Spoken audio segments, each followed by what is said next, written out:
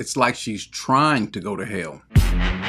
I don't know that there are very many women who are trying to be in ministry who are as bad, who are as worse, who are as demonic, who are as diabolical as Juanita Bynum.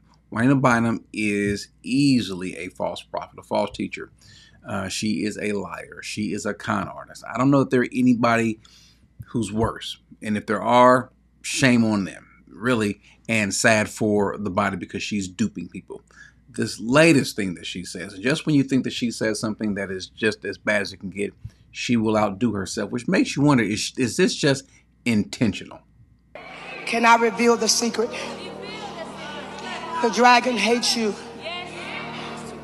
from Genesis because the dragon, Satan, because he came from God, he prophesied. Now, what she's trying to get at because he came from God is she's trying to say that that the, that the, the demon, this dragon, the devil is uh, is of the essence of God. I think that's kind of where she's going, but it gets worse. Prophesied to Eve, and he said, "The Lord know when you eat it, you will have a gross man like God." So the the devil prophesied to Eve and said that you know when you eat it, you'll have a gross mind like God. This is what's coming out of her mouth. And the sad part is look at the room. All of these women who are just eating it up. These might be the least intelligent Christians ever. Now, I'm not saying they're saved. I'm not saying they're not saved. But as we said before, you can be saved and stupid. Tweet that. You can be saved and stupid. But it's just hard to imagine that they're even saved to hear this stuff and nothing just no no bells, no lights, no whistles, nothing goes off inside you when you hear this mess. Nothing is triggered, no warnings go off. To hear those things, there ought to be some sort of disconnect with your ears and your mind and your heart. I get it. Sometimes you're a little bit slow. We've all been there. But once it comes in and you think about it, and you just kind of compare it with scriptures. That is, if you're reading scriptures, something in your mind and something in your heart should cause you to repel that off. You should be repulsed by what you're hearing, but they're not. They're cheering for it. He knows when you, when you, when you eat this. That's why God used the woman to bring the Savior back into the world. Now, he didn't have to, and he's not using any and every woman. He used a particular woman who comes from a particular child, who, by the way, her husband is also from a particular tribe, from the tribe of Judah. And to be clear, uh, he is not of her particular makeup. He's not like her. I'm pretty sure maybe he looked like her. I, I have no idea. But he's just using her. She was a vessel that was used. Wonderful that she was, nothing against her, but there's nothing special about women because what she's trying to do is say that this applies to all women. Because the woman ate the fruit and it did expand her. So you big. Now, again, the woman is Eve. The, the mother um, who birthed the child, Jesus, is Mary. Two different women but she ate the fruit and her mind expanded and she was this is bad. Big enough now to carry god. So you big enough now to carry god.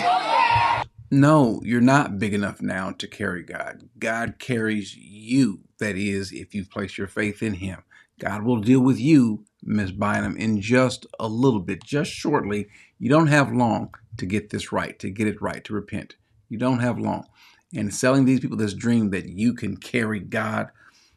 And I don't know if they're thinking about it. Maybe they're saying, well, that's not what she means, because there's always going to be somebody that's going to make an excuse for her. But what she's saying is evil and dangerous. No, I just said something right. I said, you big enough to carry God. You powerful enough to carry the Son of the living God. You no, you're not. No, you're not. Now, you can have the Spirit of the living God in you. That is, if you place your faith in Him, which means you're in Him and He's keeping you, but you're giving yourself, you're giving women, you're giving people too much power. You better open your mouth and give God a praise. I don't know about you, but I'm a woman and I want all of my benefits. Let me tell you what you are. Let me just tell you what you are. And those folks that listen, the Bible talks about her, someone like her.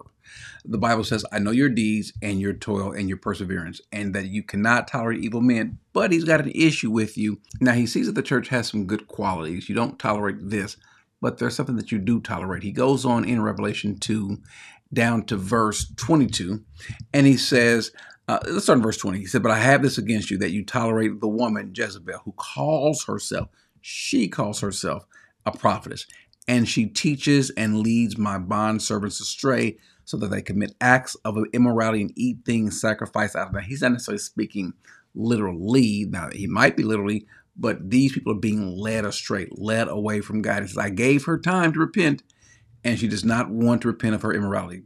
Behold, I will throw her on a sick bed or bed of sickness, and those who commit adultery with her, meaning going after other gods or doing things contrary to God, uh, I have also thrown her on a sick bed and those who commit adultery with her into great tribulation unless they repent of her deeds. Cheering for what she's saying is not not going to get you to heaven. Now, she's literally making things up. She goes against what 1 Corinthians 4 6 says that we should not extend or exceed what the text states.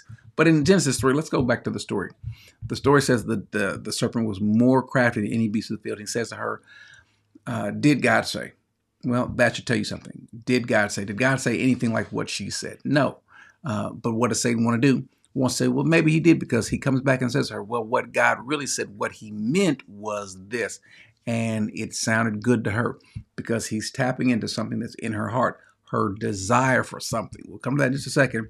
But he says, the serpent said to the woman, you will surely not die. For God knows that in the day that you eat of it, you will your eyes will be open and you will be like God, knowing good and evil. Now, the be like God part is the part that's appealing to Juanita Bynum. That's the part that's appealing to some of these women. They want to be like God. They want to do this. They want to either bring them, bring God down at their level, or go up to God's level. They want to be like Him. And so she's saying that God's mind was, uh, what was what was the phrase that she used about God? She said that God uh, had this this gross mind so we're saying that God had a gross mind. Where she's getting this from is knowing good and evil. Did God ever experience evil? Did he ever do evil? No. But he knows what it's like. He understands. He's familiar with it. Why? Because he knows Satan. And plus, look at us. And so the point is that you would do these things and you would have a knowledge, obviously, of good, but then obviously a knowledge of evil when you sin and do so intentionally. But she is accrediting God with unrighteousness and saying that he has a gross mind. And when the woman saw the tree was good for food, and that it was the light of the eyes, and that the tree was desirable to make one wise, she took from it its fruit and ate. Here is a woman who wanted to be like God, who wanted something more. It was in her eyes, it was desirable to her. Well, Juanita Bynum takes to the next level. Clearly, if there's ever been someone that has spent some time with the serpent, it's this woman the the sad part is the amazing thing is all of these women who were there eating this up, cheering, shouting. What are you shouting for? You're literally shouting for your own demise. Again, I really think I'm, I have to believe, I have to conclude that she's doing this on purpose and that she's trying her best to outdo herself. And she really does want to go to hell.